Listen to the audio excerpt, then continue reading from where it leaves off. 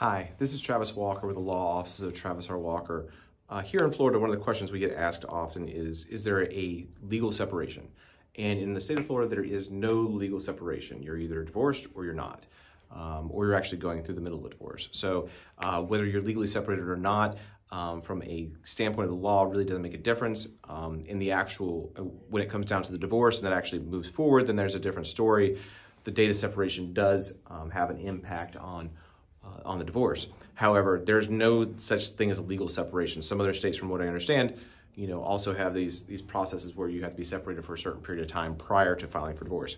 The only thing that is required for uh, to file for divorce is six months of uh, residency here in the state of Florida, and uh, making sure that um, the uh, you have the proper documentation um, filed in order to move forward. So Travis Walker, the law office of Travis R. Walker. Uh, if you have any other questions, feel free to reach out to us and we'll talk to you. Thank you.